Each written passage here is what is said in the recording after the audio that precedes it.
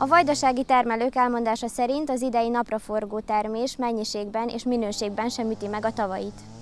Végleges termésről még korai beszélni, de a napraforgó eddigi fejlődése alapján nem számítanak komolyabb hozamra a gazdák, a kiesés 30 és 50 százalék közé tehető. Azok a növények, akik eh, korábban vetettek április elején, azok jobban néznek ki, jobban tudtak fejlődni. Amit később vetettek április végén, azok megfogta a hőhullám, és azok nagyon, nagyon kis fejek, nagyon-nagyon kis termés várhatunk tőlük.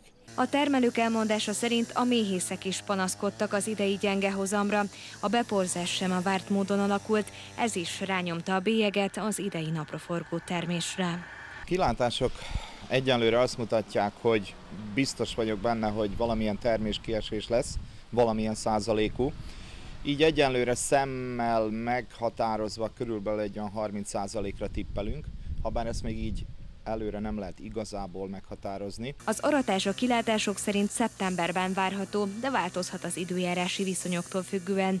Az ár egyenlőre bizonytalan, de a termény minőségétől is függ majd, hogy mennyit kínálnak a felvásárlók, mondták a gazdák.